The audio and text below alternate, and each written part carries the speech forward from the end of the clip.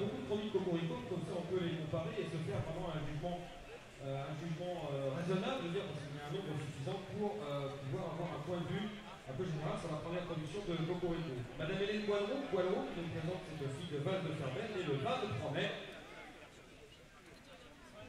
Val de Fermet, grise comme son père, Franck Smith, on peut marcher.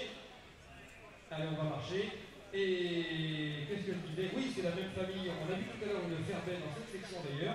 On trouve la même souche, hein, la famille de Val de Ferbet, de Ferbet. Et puis euh, Ferbet Junior, donc une victoire en Angleterre. En Irlande, être tout à fait précis, parce qu'en Irlande et en Angleterre, c'est pas tout à fait la même chose. Droit de à fort.